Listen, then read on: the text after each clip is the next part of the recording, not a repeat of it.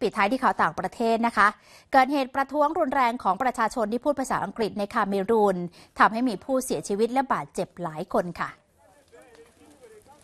ชนกลุ่มน้อยซึ่งพูดภาษาอังกฤษในคาเมรูนยังคงชุมนุมประท้วงต่อต้านความไม่เท่าเทียมกันในสังคม ในเมืองมาเมนดา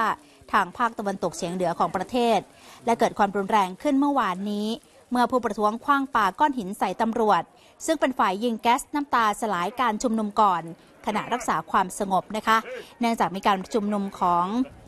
พักขบวนการประชาธิปไตยแห่งประชาชนคาเมรูน หรือ RDPC ซึ่งเป็นพักรัฐบาล ในที่สุดตำรวจจึงยิงปืนใส่กลุ่มผู้ชุมนุม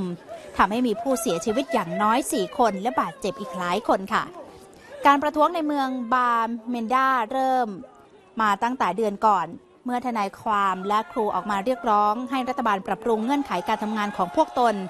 ซึ่งเป็นชาวคาเมรูนที่พูดภาษาอังกฤษ และถูกกีดกันจากกลุ่มชาวคาเมรูนที่พูดภาษาฝรั่งเศส โดยผู้ประท้วงเหล่านี้ยังเป็นกลุ่มที่เรียกร้องการแบ่งแยกประเทศ จากการปกครองของกลุ่มที่พูดภาษาฝรั่งเศสอีกด้วยนับเป็นการประท้วงต่อต้านรัฐบาลที่แทบไม่เคยเกิดขึ้นมาก่อน ภายใต้การนำของประธานาธิบดีพรบิยาวัย 83 ปี ซึ่งผูกขาดการปกครองคาเมรูนมานาน 34 ปีค่ะ